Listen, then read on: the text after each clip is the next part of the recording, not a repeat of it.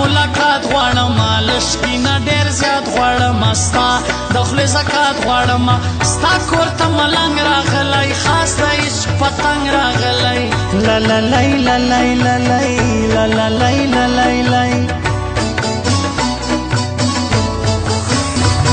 کلا زما حالو کاوا یار الیا مسکالو کاوا نن خو ویډیو کالو کاوا ستا